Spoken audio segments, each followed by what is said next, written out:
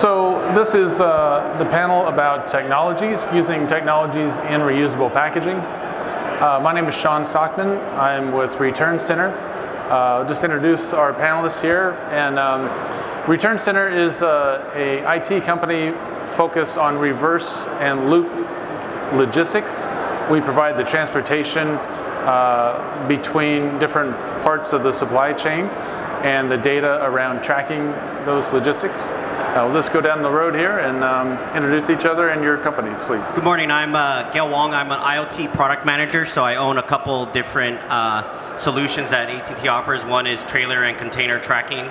Um, and we incorporate all of that IoT data to actually take business action for the enterprise application. So I own all the partner integrations into into the SAP's uh, Salesforce, so that you can use that and and uh, apply that into the business. I'm Dave Kalin. I'm the Vice President of Marketing and Sales for Paxxal.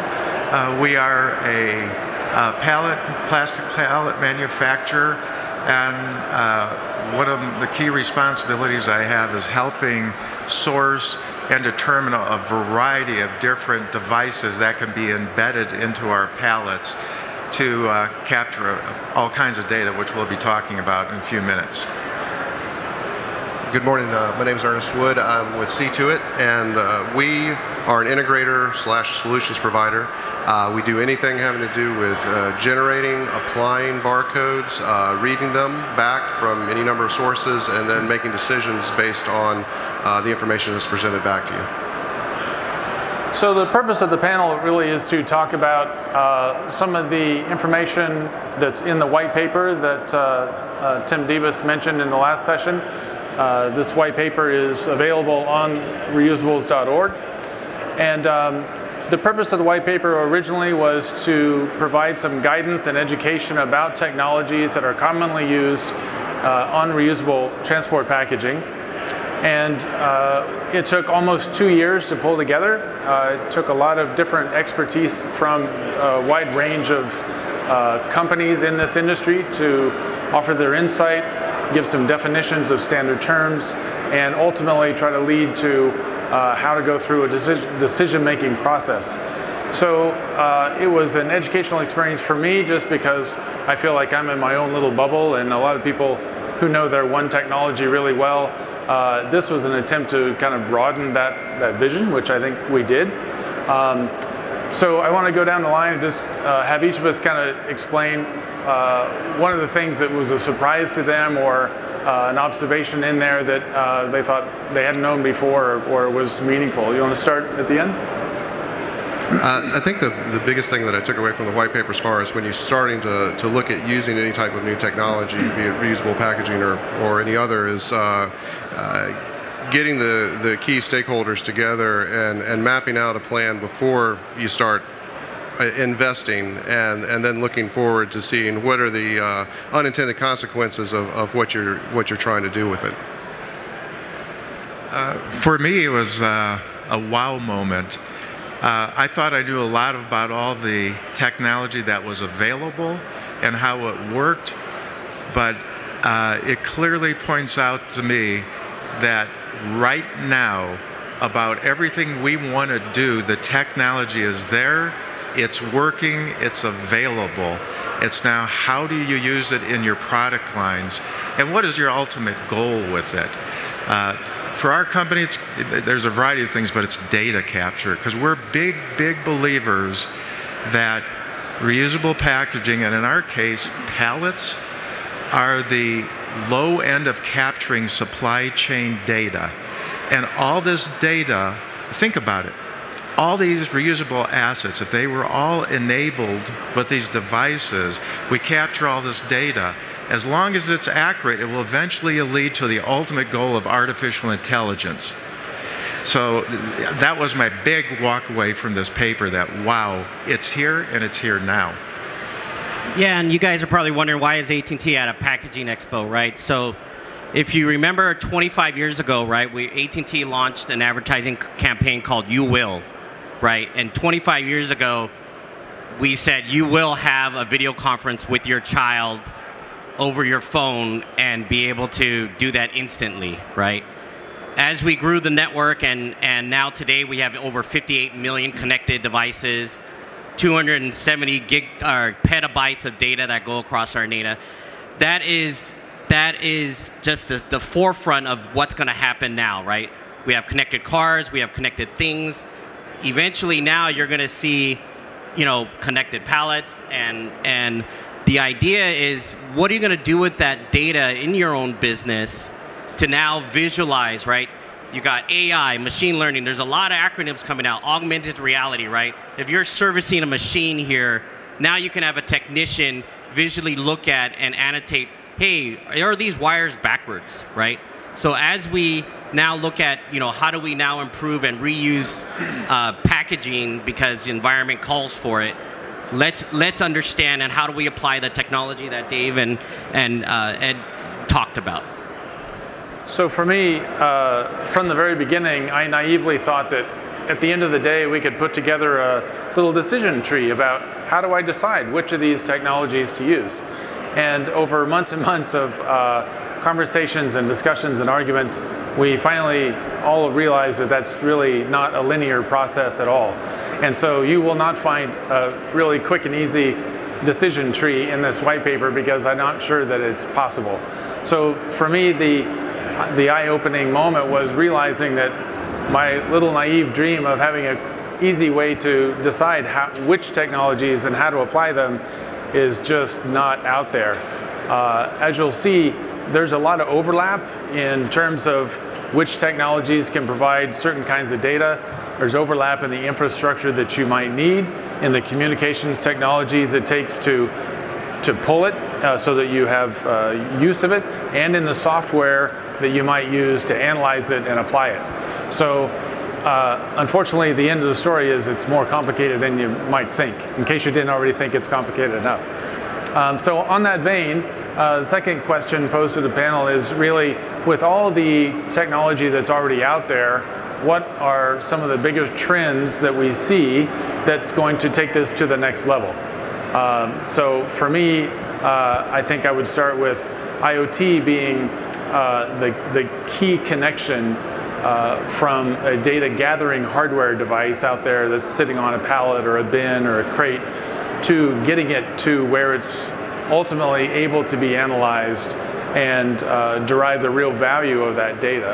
And I think that's one of the most underappreciated um, components of this whole industry is the data that's actually going to be available and deciding how it how it can be applied to solve a particular problem or a bunch of problems because uh, oftentimes the same data point will mean something very different to every different part of an organization where you know the inventory people are just trying to not lose assets where the marketing people are looking for insight into how consumers are using their products. So the whole scope in between, every department is going to get some use for it. So for me, that, that IoT connectivity from a data capturing device to the software that allows a user to apply it is a, is a huge trend that I think is going to really uh, affect every industry associated with reusable packaging.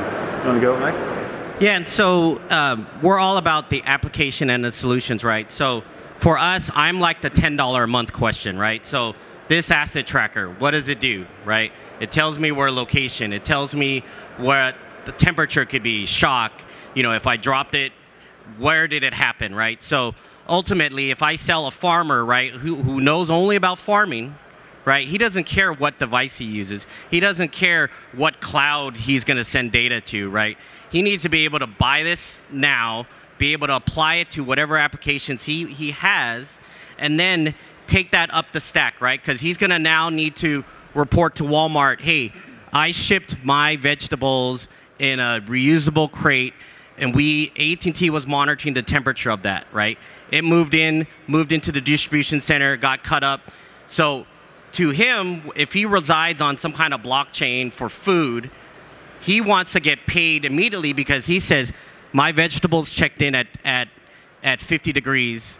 I should get changed. Close out my blockchain, right? Close out my transaction on the blockchain. The bank will pay me, right? Then it moves to the shipper, right? So does that shipper have a containerized where he was now had a refrigerated reefer, or was it on some guy's truck, right? The minute that that you get a violation on one of some of the, one of these devices, that product is now spoiled. You need to cut that off and reject it, right?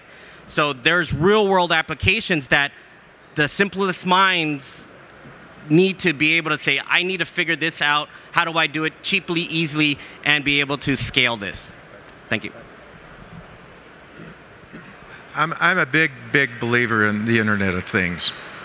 Uh, the biggest reason, there's no infrastructure cost.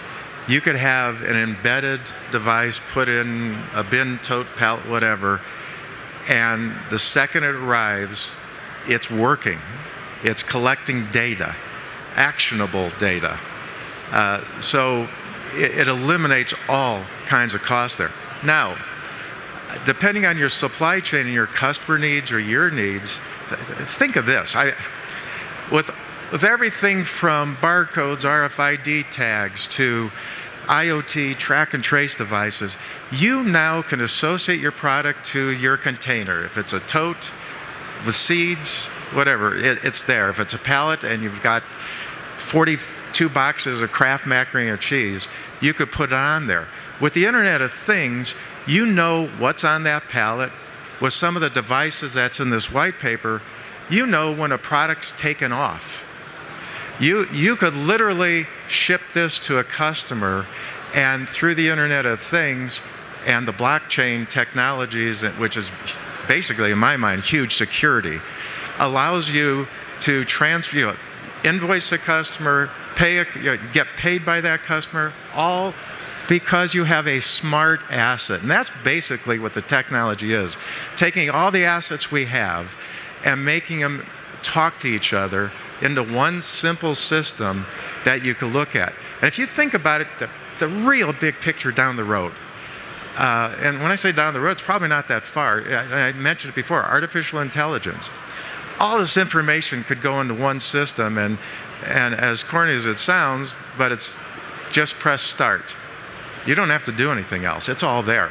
You could do inventory management. You could do, you know, if turn rates of your products. You know when your customer is about to be out of stock. You probably know more about your customer's business than they do. But, but that's what's available right now. Now, the, the challenge is, and I, I, I was walking down the aisles like everybody else, and I overheard some conversations, and I heard something just, it was like chalk, you know, your fingernails on a chalkboard oh, my customer won't pay for that. Why are we making decisions with such great things happening right now for our customers? We have got to show them solutions, listen to our customers, find out what they really want to achieve, and there's now solutions to help them get there. And they're affordable. It may be a little bit more than what they're currently buying, but if you appropriately explain the benefits of all this to them, I think they're going to use it. I really do. I'm way down in the trenches from these guys. Uh, uh, so the the trend, the original question was what, what, trends are we seeing? What I'm seeing when I'm in the in the factories is uh, how do we reduce the number of people that touch an item as it moves from A to B, and how is that going to affect uh, the technology that we're putting in? Um, so as we take fewer people, now now the container that the product is in, whether it's food, uh, machine parts, or whatever, it has to be able to handle the trip not just once, but it has to be handled uh, many times. Uh, things as simple as putting a label on a box now become more complicated because where a box gives, plastic doesn't. Uh, you have to make sure you have the right technology simply to apply a label. You have to make sure you have the right technology that's going to read the various types of barcodes. So the trend is basically less people, but your infrastructure has to be there to handle that product as it's moving through. And that goes back to the original question as well of you know when we get started down these roads, what things do we have to take into account? So, so it's a it's a good uh, good transition. Um, so one thing I'd like each of you to do is go through and, and give me a real world example of uh, how a particular technology was applied and how it either made somebody money, saved somebody money, gained some efficiency. Uh, what's a what's a good kind of case study for uh, applying a, a, new technology to reusable packaging and have a, an ROI that was measurable? Do you want to go first? It's nice because this one didn't actually, uh, I wasn't even part of this one. So it, it, was just something I stumbled across in, in one of the plants as they were uh, started using uh, reusable combos. Uh, basically, uh, other people call them Gaylords, 4x4x4 uh, that you, you drop meat in or, or any other product. in the past, they were using cardboard with plastic liners. They went to the reusable type, which still pertains to we want to know where those things are. Uh, and it, I think it cut their cost on the combos something like 40 to 60 percent. Wow, that's fantastic. Uh, there's there's several, but one very simple one is uh, track and trace of a pallet. Uh, had some product on it, they couldn't find it uh, in, in, the past.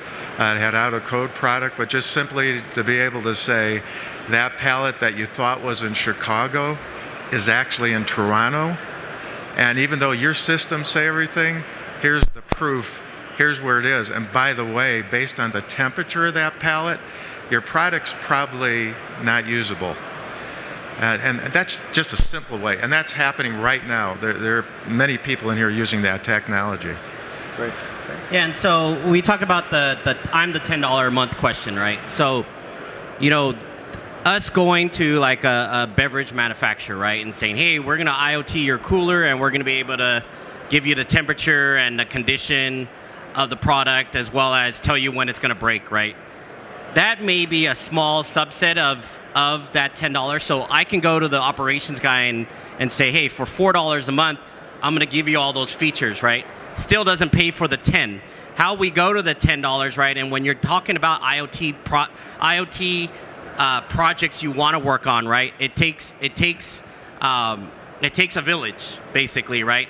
Because when we do ideation sessions, which is we have customers come in, we want a marketing guy, we want a sales guy, we want a user, we want people there who's going to use this IoT solution, right? So I'm going to go to the CMO and say, hey, because now when I stick a camera on that cooler, whether it's ice cream, whether it's a beverage or what have you, I'm going to be able to tell you now, here are all the interactions with your customer with this cooler, right? If I open the door for two seconds, what does that mean? Somebody's probably buying a product out there, right? If the door is open for 15 minutes, what does that mean? Probably somebody's filling the cooler, right? But the minute that I add vision now, right, taking a camera, every two hours I'm taking a picture, I'm now giving you the inventory, right? Because now I can tell a blueberry blueberry ice cream versus a Haagen-Dazs ice cream versus versus a Red Bull can of can of, of drink, right? And I can tell you how much inventory is left, you know, by percentage, right? So so it happened to be when we were working on one of our coolers out in San Francisco, the distributor was there. Had he known that I took a picture two hours ago, he didn't have to bring all this ice cream, right? All this package, packets and boxes of ice cream out there because he was 80% full, right? So, so the need and the requirements are there, and the use cases of who's going to actually pay for this, we're solving them today already. So it's a good point. And uh, just to kind of round out the final uh, question, which is, where do you start? So if you if this sounds intriguing and you think you might want to uh, either convert from one way to reusable or take your reusables and make them smarter by uh, adding technology to them, where do you start? And so uh, Gail touched on a little bit where uh, it's usually got to be led by somebody who has a problem they think can be solved through this adaptation. And so the central question is, what steps would you suggest starting with to make a decision about what type of technology uh, you might need. So for me, it's usually around uh, the business case. Finding a, a problem that has a quantifiable aspect to it. How much is it costing you to do things the way you're doing it now? Or what's the opportunity cost? What could you do more efficiently to gain to if you uh, use a certain technology? So you, I think you're going to have to start at least in the in the very beginning with something that's quantifiable to know that if the solution turns out to be that ten dollars a month, what does that mean? Is it affordable? Can I make 50 or can I save 50 if I spend 10? Or is it a $2 solution or a $2 problem I'm trying to solve and it's going to cost me 10? So you have to start, I think, for me, with a business case that you can quantify before you can start down the road of knowing uh, what types of technology and therefore what costs you could sustain to try to solve that problem. So you want to just kind of go down the, the line and like where would you tell someone to start if they were going to think about adding yeah so d- depending on your business you know it's really an operational thing right? So um, when i was in san francisco too you know there was a potato chip delivery team there right? And so they were delivering it was 7 a.m at cvs and i just like oh well let me talk to them because i'm working on some stuff for them and and i'm and then i asked them i'm like hey so you know how do you guys manage your inventory at the store and how do you know where? Well, they force us to stop at a Walgreens and a CVS and such, right? And just trying to understand the day in the life of, of operations, right? And, you know, by the time he goes into the store, takes his inventory, goes back to the truck, comes back out, that could be a 30 minute turn, right? And the issue was not just how much inventory he has and how many potato chips he's selling. The issue they have is an HR issue, right? because nobody in San Francisco wants to drive a truck for $15 in the middle of traffic, crossing the bridge and stopping and trying to park this big, big truck in San Francisco in the middle of the day, right? And only make 25 cents a bag, right? So they don't have enough staff to do that, so they're driving and flying people in to cover the routes, right? So, so that is an issue that started from HR to say, hey, wait, uh, why don't we have enough drivers in this local area, right? And so IoT can solve that, but you have to understand where, where is the business heading, what are some of our issues that we currently see in the field, and how do we solve for them? So I think you know the, one interesting part about that is that you're you're going back to getting more people in the room yeah. to talk about that, where it it may be seen by an HR person as here's my problem, and they have no idea that that might be even addressed through yeah. any technology on any packaging if you involve other parts of the organization that are probably more informed about the day in the life of that driver and all the different things that he or she is touching, the types of packaging, pallets, how they move physically on and off a truck, what they take in to the store. That whole day in the life of the end user uh, probably touches a whole bunch of different departments. So it's a good place to start would be who all has a stake Correct. in the life of that driver. Because if right? you're a technology seller or something, it, you're you're selling. You can't just sell to the IT department, right? You can't tell them, "I'm going to sell you a Salesforce license or a Service Cloud license or whatever." That doesn't solve anything unless you know the actual actual problem of the business. Well, like like most things, I think the idea is that these are all interconnected, and that what one person might see as only their problem probably has some kind of ripple effect through the whole organization. So, uh, David, where, where, would you start? Uh, since we're at reusable packaging, one of the common denominators for all of us is lost assets, right? So I'd probably start with taking a look at what are your loss rates or your customers' loss rates, and can I, by putting tracking devices in these assets, make a, a quick uh, improvement which will show a, a, very quick ROI, which will show how the technology is working. Start with a pilot program. Find a customer that you know is forward thinking and, and is probably a little ticked off that he's buying a $300 bin and he's losing 10% of them. Uh, and, and, and, like I said, there's no infrastructure. You get your hands on some of these devices, uh, you work through AT&T, which connect like this. It's a very simple process, and you're up and running with the pilot program. Start. So Ernest before was telling us about his sprint walk, sprint run walk approach, which I was curious about. If you wouldn't mind uh, sharing that. It, and everybody everybody uh, hates change, right? So when you're looking at a, at a new uh, project, uh, we like to sprint to the, the easiest win we can get that's going to have the biggest impact. So what's something simple that we can do that's going to impact and show the technology and, and get you in the door. Uh, after we sprint to that, we're going to walk to the next slightly more complicated project where uh, we're going to expand on the technology. Uh, and then the crawl aspect is after you've done the first two, now, now you're in there and you can take on the elephant. You can, you can look, work with the, the more complicated projects because now you're, you're, a, you're either a trusted provider or if you're the end user in this case, we've established the trust with you so that you, you can move forward with a great deal of confidence. So uh, we'd be happy to take any questions that anybody has. Um, I, I, did have a copy of the white paper. It's kind of thick. It's not a paper, it's a book. Uh, but it's online. You can download it for free. And um, But if you have any questions, we'll field them. Sure. So, for any, anyone on the panel? Oh, yeah. Thank you. Hi, this is for anyone on the panel.